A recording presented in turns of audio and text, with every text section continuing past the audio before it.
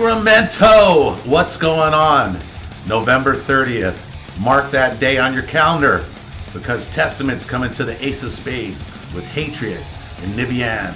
And guess what? We're performing The New Order and The Gathering. That's right. It's going to be a kick ass show. I can't wait.